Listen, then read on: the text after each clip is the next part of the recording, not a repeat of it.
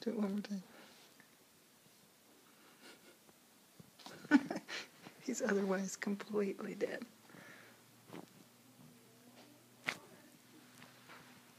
Oliver.